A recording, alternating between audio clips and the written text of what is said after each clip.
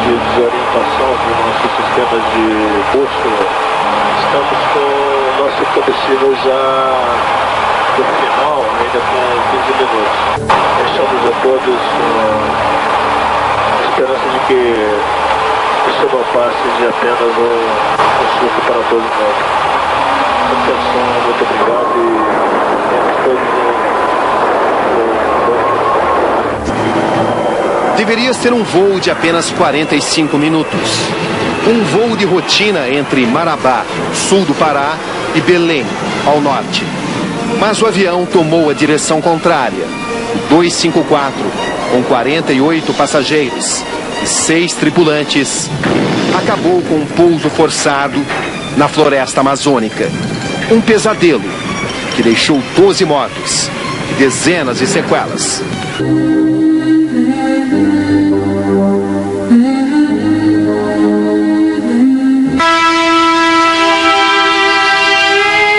Perdido no coração da floresta, localizamos o que sobrou do avião do comandante Garcês.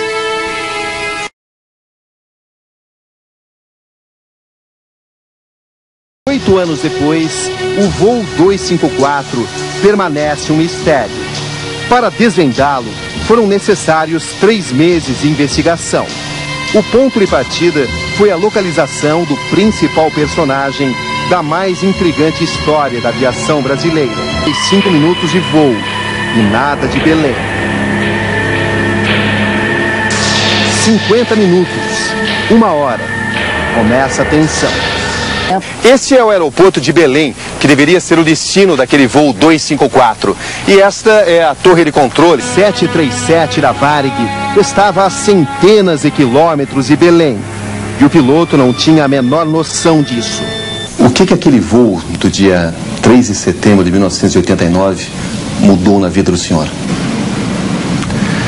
É, esse voo, é, o último voo na aviação, foi um, realmente foi uma tragédia muito grande que eu convivo com ela esses anos todos e mudou a minha vida completamente. Pedimos a todos que mantenham a calma, porque uma situação como essa realmente foi difícil de acontecer.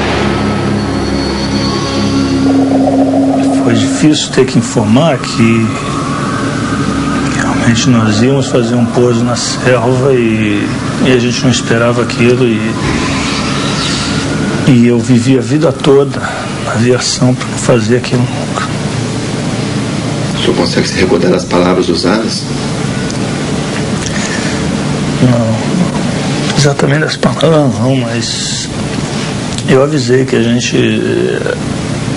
esperava que a gente tivesse sorte no que ia fazer, mas não tinha como evitar naquele momento. Nós íamos é, fazer um pouso forçado. E eu desejava uma, que todos, onde estivessem, estivessem com, com paz, porque ia ser difícil. Qual foi a responsabilidade do senhor nessa tragédia? A responsabilidade do voo é do comandante do voo e essa responsabilidade eu até hoje assumo e, e mantenho. O comandante assume a responsabilidade, mas não assume a culpa.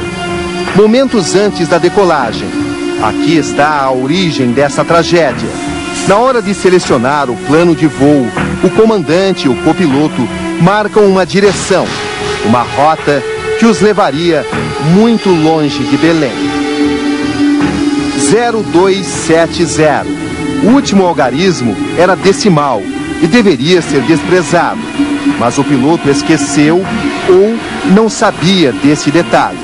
Comandante César Garcês, o senhor tinha 15 anos de experiência e mais de 8 mil horas de voo, correto? Correto. Como é que um piloto com esse currículo acaba marcando uh, no computador de bordo 270 graus ao invés de 27 graus, que seria o correto para se sair de Marabá e se chegar com segurança a Belém? Porque eu coloquei rumo de 270 graus, porque eu tinha esse rumo no meu plano de voo. Esse plano tinha sido introduzido na companhia na época e era um plano que não tinha sido explicado para os pilotos ainda e era um plano que veio a ser retirado da companhia por determinações de todas as investigações e dos inquéritos que, e dos processos que se concluíram, porque era um plano que não correspondia com a nossa realidade e permitia, era um plano altamente perigoso para criar as dúvidas e mais. Investigando os documentos da época, constatamos que o comandante Garcês tinha suas razões. Conseguimos uma cópia da circular distribuída pouco mais de dois meses antes do acidente. Ela não chamava atenção para o quarto algarismo, o que só aconteceu em documentos distribuídos pela companhia nos dois dias seguintes ao acidente. O senhor concorda que isso pode ter confundido realmente o piloto? A ausência dessa informação que só foi colocada na circular após o acidente? Oh, isso é sujeito a interpretações pessoais. A partir do momento que você tem um treinamento onde todos é, entendam a mesma linguagem, todos entendem, todos fazem aquele procedimento, eu estaria entrando do lado subjetivo se eu dissesse que o piloto ou algum piloto poderia se enganar. Descobrimos também que não era a primeira vez que confusões desse tipo tinham acontecido naquela época.